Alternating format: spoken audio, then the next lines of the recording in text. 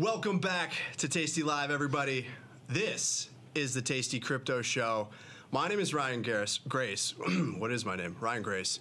And I'm here with uh, the one and only, but a new addition to the network, Mad Mike, fresh off the plane from Mexico. Welcome to the network. Thank you, Ryan. It's great to be here. My first time in the studio. Um, it's nice and cool in here. You Yeah? know, it's very You like it? relaxing. Yeah. Sometimes when I get hot, I get a little bit, uh, you know, red, but it's very comfortable. It's a very comfortable environment. You're looking good. Yeah, thank you. Well, For the haircut, but yeah. You know, for everybody that's not familiar with you, if you've followed along the Tasty Crypto brand for some time, Mike, you're the head of content. Um, I think you do a fantastic job with everything that you put up there. Tons of great information on the website. So if you've seen an article on there, Mike has most likely written it. But um, just to give everybody a little bit more background uh, uh, on yourself as we jump into this, where'd you come from? Why are you here? Uh, let us know a little bit more about yourself. Well, Ryan, I came from where you came from, Western New York. Yes. Uh, and I went to school in Western New York. And in 2006, I graduated college and I moved to Chicago the night after I graduated. And uh, they hired me at Thinkorswim, actually, Okay. which was the company that Tom started, of course, before Tasty Trade. Um, so I was there, quite happy. so you do have some experience in this world. yeah, I do. Okay, Yeah, that's so I important. mean, my whole uh, career has been, um, you know, a product of uh, Tom Sosnoff's imagination. So it began with uh, Thinkorswim and now Tasty. So just one or the other, um, and I like it. It's it feels a lot like. Uh, Thinkorswim before we became Ameritrade, and then before Ameritrade became Schwab. It's smaller. Um, there's better customer service and a better product. So what isn't there to, like? Beautiful. Well, I'm excited to do the show with you here today. We've got episode one of the Tasty Crypto Show. The Tasty Crypto Show is going to go everywhere. We're going to do the basics of blockchain. We'll get you set up uh, today. We're going to get you set up with a self custody wallet. We're going to go into the weeds in DeFi as well. Like I said, everywhere. So I'm super excited to do the show with you. Um, let's jump right into it, though. And on the first episode today, want to give everybody a little bit of background on Tasty Crypto. If you're not familiar with the application, we're going to talk about how it works, give you an overview here of all of this, um, set the application up. But before we do that, I think it's important that we talk about self custody and this concept and really explain why we decided to build the Tasty Crypto application, how it's different from some of the other products that are out there, some of the other ways that people might approach crypto here today. So we're going to break down the differences between custodial and non-custodial wallets. We're going to look at you know, why you need a wallet, what do you do with this thing, why self-custody. Okay, interesting concept. Why does it matter? Then we're going to go through and set up the Tasty Crypto app live on the show so everybody can follow along. If you've been curious about this, if you have questions, maybe we can answer some of those here today. And we'll give you some resources to get started afterwards, if that sounds okay to you, sir. That sounds great. I'm excited. All right. Well, let's do it. Let's jump into this and first talk about self custody. Mike, what's the difference, you know, when you think about it, what's the difference between custodial and non custodial? And when we say non custodial, you're going to hear us use a lot of jargon, a lot of terms. We're going to try to limit that. But non custodial, self custody, same thing. Custodial wallet is a little bit different. What's the key differences there? What do people need to know about? Well, in blockchain technology, crypto is a, a byproduct of blockchain. Um, everything comes down to something called a private key, which is a very long alphanumeric um, string of digits and numbers that represents your crypto on a blockchain. It's kind of like a like a bank password. You can think of it like that. Um, now, this is a very long figure, and it's very hard to write down, um, and it's very easy to misplace. And as a matter of fact, 20% of all crypto is lost, not through hacks, but through people just simply losing their seed phrase or their private key. So, in a custodial account, kind of like uh, Coinbase, you don't have direct access to your private key. So they're safeguarding that for you. And because you don't have access to it, you can't trace your digital assets on a blockchain one to one. So you can't be sure that they actually have your crypto. Um, you just have to trust that they have them. But the problem with trust is blockchain was designed as a trustless system. It wasn't designed um, for these centralized exchanges. It was designed for self custody.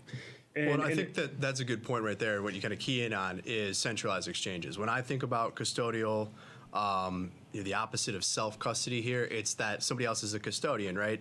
Um, it's not that it's it's not bad or anything like that.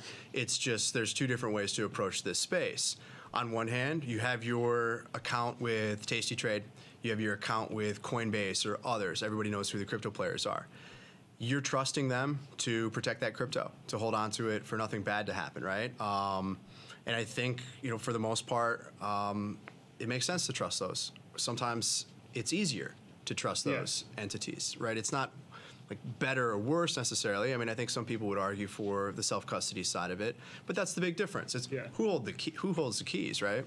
Yeah, I mean, at the end of the day, that's what it comes down to. And uh, my first interaction with crypto was in 2016 or 2017, and I used probably like you, Ryan, Coinbase, because I didn't know what a self custody wallet was. Um, but when you have a self custody wallet, you are the only party privy to that private key. So you you're going to have ownership of your assets, and you can look it up anytime you want. If you have uh, Bitcoin, you can look up on the, the Bitcoin blockchain, or ETH, you can look up on the Ethereum blockchain. You don't you know it's always going to be there um, as long as you're safeguarding that private key, which we interpret as a seed phrase because the seed phrase is a little bit easier to remember and write down. Um, and that is the primary difference between a, a self custody and a custodial account. Yeah, it's kind of a novel concept. I mean, when you think about, I don't know if you want to call it crypto world or blockchain, but what happens and how things work on chain, how you interact as an individual, right? In, in some ways, you have, well, certainly have a lot more control, maybe have some sovereignty as well. Yeah, yeah. Um, that's the big difference. Um, when you have crypto with Coinbase, you have crypto with an exchange. Sure, it's there. You can trade it. It's easy to access.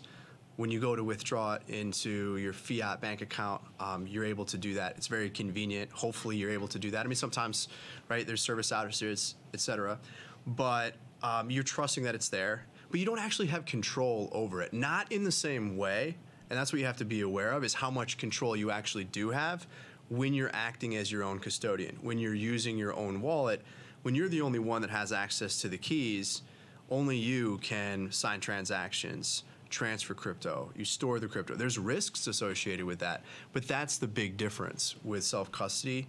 You're in control. I, I think the other thing that stands out to me, and we'll move on from this slide, but the other thing that stands out is just what you can access as a result. Yeah. With a self custody wallet, you can participate in DeFi, decentralized finance. You can access protocols. You can do really whatever you want um, within reason or within what you know the technology enables. You might not necessarily be able to do that with a centralized exchange. Again, it's not a knock on centralized exchanges. They serve a purpose. Uh, there's some very good ones out there, but you're not necessarily going to be able to use your, uh, let's say, Coinbase account or any other account to participate directly on chain. Maybe over time, but you need a wallet today. You need something like the Tasty Crypto wallet to be able to go and actually participate on chain.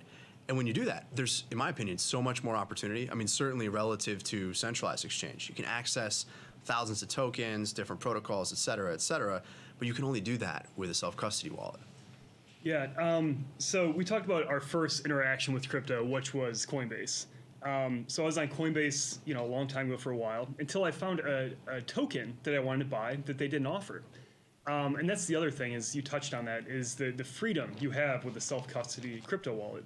There's thousands of tokens in existence, but on most major exchanges you can only trade a handful of them. Um, and I simply, why I opened a Web3 wallet, which is another word, another way of saying self-custody wallet or decentralized wallet, was because I wanted to have access to this coin. I, was that similar to your first experience with self-custody? Why you got into it? Yeah, I think you know everybody's gateway drug tends to be, or for most people, it's been Bitcoin. You learn about this, you'll read the white paper, whatever. Then people will get into Ethereum. They start to learn that there's other things out there. Uh, maybe some of these other blockchains have different purposes or exist for different reasons compared to Bitcoin. And you learn about the ecosystem, and then you naturally start to learn about what you can do, how you can participate in that space, where the opportunities are. And I think that is where you ultimately land on the self custody side of it. You know, at some point in that journey, you're going to hear that phrase, not your keys, not your coins. Right. I think there's enough examples now of centralized crypto firms failing Um, there's reasons, you know, real reasons why I think it's important to to be aware of self custody and and to utilize it. But yeah, I think that's that's pretty much the journey. That's kind of what happened to Yeah. me. You want to participate, you want to speculate, some you want access to these things, and maybe you're only available on chain. So you need a wallet.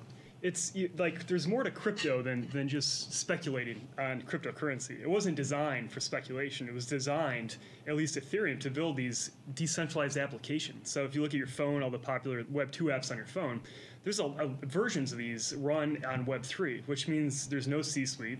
Um, the community makes the decisions, and they're incredibly fi- uh, efficient because they're governed by smart contracts, which is basically code, like if, so, then, kind of like you would put in an Excel spreadsheet. Yeah. Um, and it's just very exciting what some of these um, platforms and protocols are doing, and you can't participate in any of their activities, let alone you know invest in their token without actually having a self custody wallet, which is a key to this whole ecosystem, which we call the, the future of finance.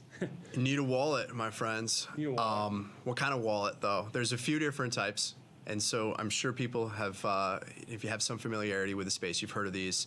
You probably heard about a hardware wallet, or you think about that key being on a USB drive. People use that term, but there are a lot of great hardware wallets that exist. Ledger's one of the bigger names that's out there. Um, just to use that as an example, you have a paper wallet, which I'm not sure is used, you know, in 2024 as frequently as maybe the early days of Bitcoin, uh, if we go back you know, more than a decade.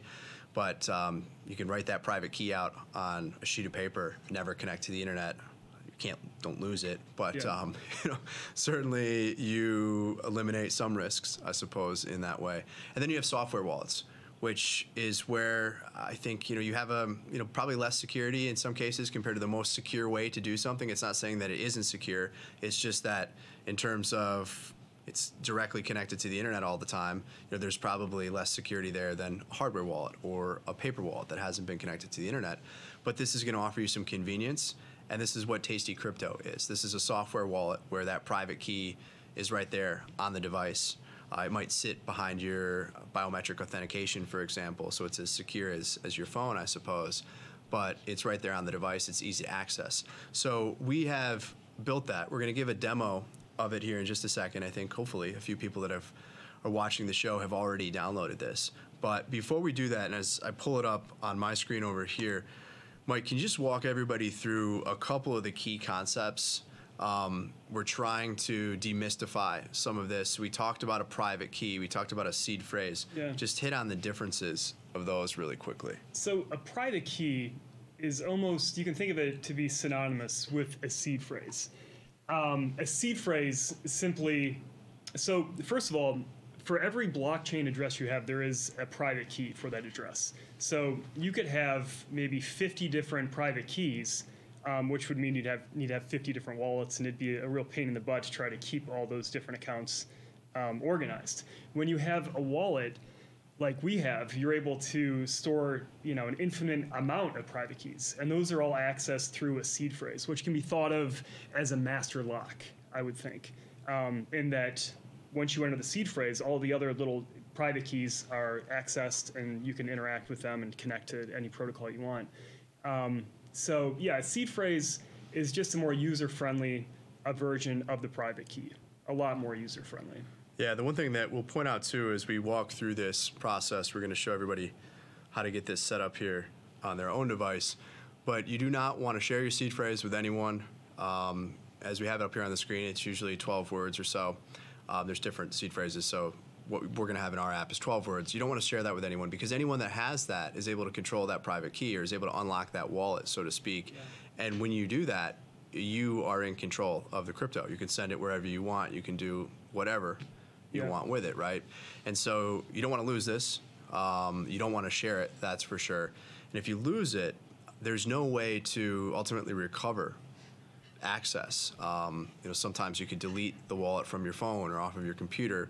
If you have the seed phrase and you want to go back and kind of reinstall it, I suppose, to think of it that way, you just import that seed phrase and now you have access to this. If you want to use a different piece of software, maybe you checked out Tasty Crypto, you want to check out something else, or you're using a different wallet, now you want to check out Tasty Crypto, it's a front end. And so you can import your seed phrase, but you have to have that seed phrase. So don't lose it, write it down. It's a very important part of the process here.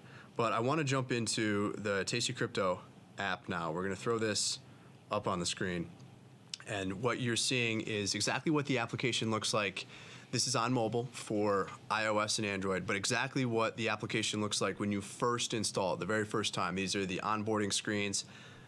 Talks a little bit about what this application does, what it supports, and what's coming soon, which is that direct connection with the Tasty Trade brokerage.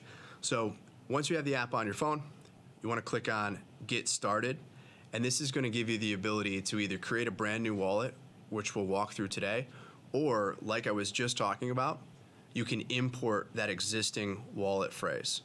So maybe you have a MetaMask wallet and you want to access Ethereum with Tasty Crypto, you would export the phrase, you import it here, and vice versa. You can export these phrases. So you can use whatever piece of software that you like, but do not forget that seed phrase. Yeah, that was uh, when I was first starting the space. I was kind of like I was a little confused by that. That you could use the same seed phrase on any wallet, and you'll have access to your your crypto. Any wallet, MetaMask, Exodus, uh, Tasty Crypto, and there it is. Yeah, the way that I like to think about it is very similar to email, where you have an email address, you have a password.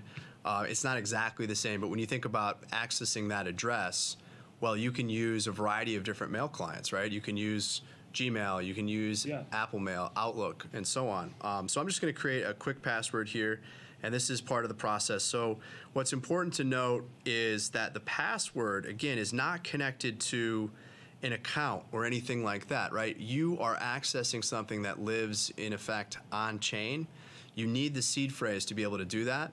This password that we're creating here is simply just to unlock the application on this specific device. Right. So if you're at a coffee shop and you step up, nobody else is going to be able to access it. It's only for, like Ryan said, that specific device. It has nothing to do with the true account access, which is the seed phrase. Exactly.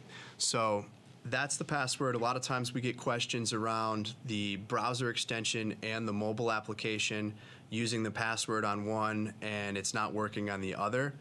We do have two versions of this software, or two forms, I suppose. You have a browser extension for Chrome, and then you have the mobile app on iOS or Android. If you're going to use both, you have to import the same seed phrase into those applications. And whether you want to or not, you're going to have to set a password. If you want to make the same, you want to use different ones, whatever your preference is, you're going to be logging into those separately. Yeah. Um, they're not connected in any way other than what they're viewing on chain. So any activity that um, is you're engaging with, or anything that happens on the mobile side, you will re- see it reflected on the browser, but they are two separate applications, and there's no kind of like central, you know, counterparty, right? We're a software, um, a services company, you, c- but we can't help you with recovering your password. That's Yeah, all up to you. It goes. This is where self custody should really make sense because all financial accounts we're familiar with are custodial accounts. Somebody's looking after those funds for us. Nobody's looking after your crypto on our end, Yeah, it um, is- including the government. It's, this is only you. This is outside of the system in a sense, outside the um, in that you are in full control, and so I guess with that, there are risks and Yeah. responsibilities, I suppose, as well as you know the reward that maybe comes from it. So we're just going through the process right here. We've created that password that's going to allow us to unlock the device, and now this is the manual backup. This is where we we view that seed phrase and we write this down. We are just going to throw this wallet away. But I want to just quickly write down what this seed phrase is here so we can continue. Um, because on the next screen, what you're going to have to do is go through the process where you can confirm that you actually wrote down the seed phrase. What you definitely don't want to have happen here is you go through this process, you skip through it, and now all of a sudden you're on chain. You've decided that you don't want to write the seed phrase down right away. You maybe have a crypto balance, you've been doing things, and then you get a new phone or you delete the application accidentally, whatever it might be, and then you come back around and you realize, oh, I don't know that seed phrase. So I'm just going to type this out here, got a couple more to go, and then we'll go through that process where we actually confirm that, in fact, we did write this down. And I think you also want to be conscious of where you store this. Um, it's easy to just take a screenshot of it, put it on your device, but you don't want to put it in a place where you also could lose that. Um, this is really the last resort to access your assets on chain. So if you put it on a piece of paper in your wallet and you lose your wallet, well, you're out of luck. So just keep that in mind. it's also important. A lot of younger people are involved with crypto, so they don't think about this. But um, if something were to happen to you, if I were to get hit by a bus on my way to work, and nobody else had access to my seed phrase, which they don't right now, that crypto's gone forever. A lot of younger people. How old are you? Well, I mean, I'm 23, Ryan. How old are you? I agree. Um, you definitely want to make sure that if you know, especially if you have a lot of crypto that Yeah. you're accessing this way, you know, have a plan, I suppose. So we've written down our seed phrase for the manual backup. We're going to understand um, our risks here. We're going to click that button. And then when I continue, this is what I'm talking about. So it's going to ask me to just tap on these or drag them, and I'm going to put them in the order that I wrote them down. So this, again, just confirms that at least you went through this process to write it down somewhere um, at some point, And we won't use this again because we have exposed the seed phrase to anybody that's watching Yeah, this. ideally, Um, when you open a wallet, you're not broadcasting the seed phrase to the entire world. Yeah, Ide- In a right. perfect world. You also have to, to put this in in the uh, the right order. So let me make sure I'm referencing it correctly. But uh, yeah, we'll get this set up, and then we're going to show everybody how you can add uh, a couple different tokens to this. What it does, we'll just talk through this, and then wrap it up. But I will mention that this gives you access to both right now, both the Ethereum and the um, the Bitcoin blockchain. And Ethereum is what we're excited about because Ethereum is a blockchain that interacts with decentralized applications. I'm excited about Yeah. Bitcoin. You can do you can do anything All in these right. applications. Our government doesn't let us do a lot of things, but anything you imagine, there's an application built for that. Um, Polymarket. I don't know if you saw uh, a former politician tr- uh, tweeted about uh, Polymarket the other day, which is essentially a, a betting protocol where you can bet on anything from the existence of aliens to uh, to who's going to win the next election, um, just anything. And they, these bets, they're user created, so anybody can propose um, a bet, you know, and it's Yeah. usually on a sliding scale from zero to uh, to hundred. Um, so if it's at two, there's a two percent chance that aliens, the That's- government is going to say aliens exist next month. That's, That's just one the draw. No, I mean that is the real reason this was created, just to be able to access those alternative betting markets and bet on the alien. There's landing. option protocols. You can you could trade options in decentralized finance, or you could actually be an options market maker. You could be your own citadel. Um, You got it. It's incredible what you can do. We just put in our seed phrase and we've created our wallet. Mike, we can't get into the alien betting markets and the DeFi just yet. I hope you don't fund this wall, But- Ryan, because a lot of people know that seed phrase. now. This is how it works. Once you've done that, you click continue, and this is going to, by default, populate Ethereum and Bitcoin on here. This will also, if you're importing a new wallet address, this will automatically look at what other token balances you have and it'll add those tokens. So if we had a balance here, obviously we don't, we just created this, it's brand new. But if I imported a wallet address, which we'll show on the next show, um, we'll actually use one that's got some some tokens in here, it'll pull it in automatically.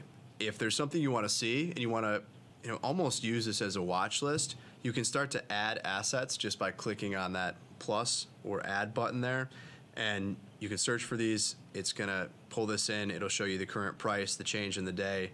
So it'll take a, a second here, but now we can see Chainlink and Uniswap, the prices, the change. Even though we don't have a balance there, we can add those to this. So you can start to look at some of the information as you just click around on here. And I would encourage everybody to, if you download this, one, obviously write your seed phrase down. But get set up, take a look, check it out. Um, you can click around on this. There's not anything that you can do wrong. There's no crypto in here.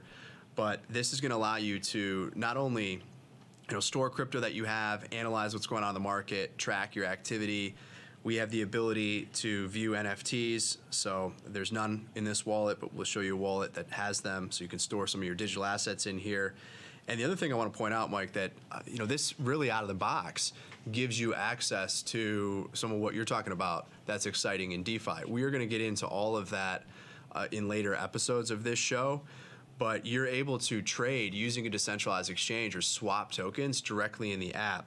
So if you want to add crypto, if you have a PayPal account or you want to use Transact, these are third-party partners of ours that you can add crypto to your wallet address through.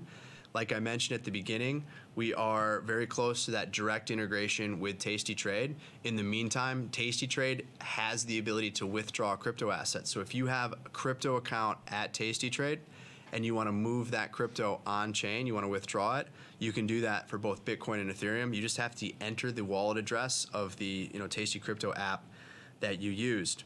So you can add crypto here, and then once you have those positive balances, you can swap that crypto. So if I have ETH and I want to sell it for USDC, US dollar stablecoin, very easy to do that right here directly in the app. And so that's getting started with the Tasty Crypto app. I want to just jump um, back to the slides for just a second because I think anybody that has found some value in the demo here, some of what we've been talking about, clearly we're excited about uh, not only the show, but what you can do with the application and some of the opportunities that hopefully we're able to highlight for anybody that's um, you know just getting started. Mike, do you want to talk through just some of the you know the other resources that we have um, that I think are immensely valuable, especially the, the Learn Center? Well, thank you, Ryan. I spent a lot of time on the Learn Center. Um, so we have, so if you're looking at, if you just download Tasty Crypto, again, there's 10,000 tokens in existence. Where do you begin? We've been making a lot of uh, blog posts on the best X, you know, the best 11. People love lists, Ryan. Um, I used to be a real writer, but now I just pump out lists because that's what the people want. So that's what I give them. I give them lists. Hey, Uh, we, we love you for that. So we have like the best uh, seven stable coins. Um, you know, we look at things like liquidity, market cap, things like that. Um, the seven best tokenization projects. Um, so on the blog, if you just scroll through seven best cryptos for long-term investing, we have a lot of good lists that we put a lot of thought into to get you guys started.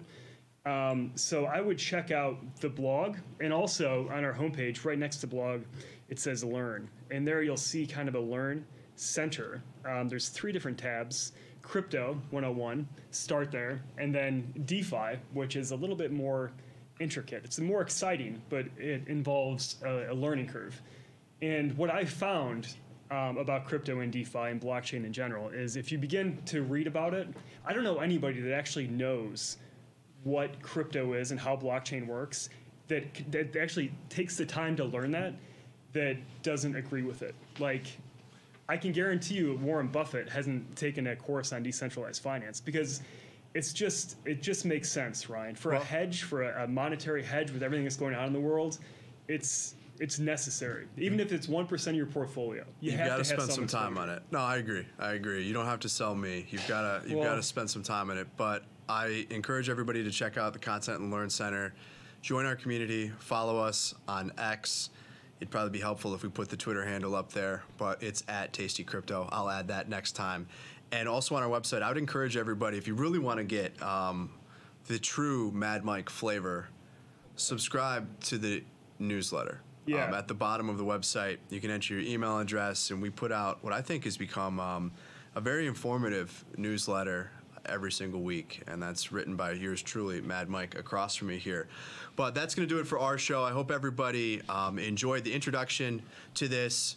What we've been working on, we're going to bring a lot more to you. Um, surprise, Tom gave us half an hour twice a week, kind of unleashed us here. You know, we've been Crypto doing Unleashed. Crypto Unleashed. We've been Yeah. doing crypto conversations on Thursday um, in the morning at 8:40, and I really enjoy coming on and talking with Tom and Tony. But this show is going to allow us, the Tasty Crypto Show, to really go a lot deeper into this space. Highlight the app. We're going to use this to trade. We'll have a wallet that you can follow along with as well. So we're very excited about it. If you don't have the application, what are you doing? Get it on your device. Um, You can get it in five minutes. You don't have to fund less it. than Just that. check it out. I, it, we were agreed on 30 seconds. Come on.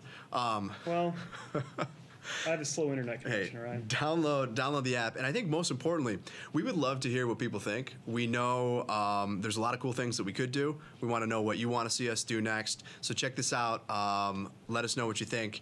But there's a lot more you can do on chain that we're excited about. and We're going to talk about that on the next show. But until then, this is the Tasty Crypto Show. I'm Ryan Grace. I'm Mad Mike. We'll see you Wednesday.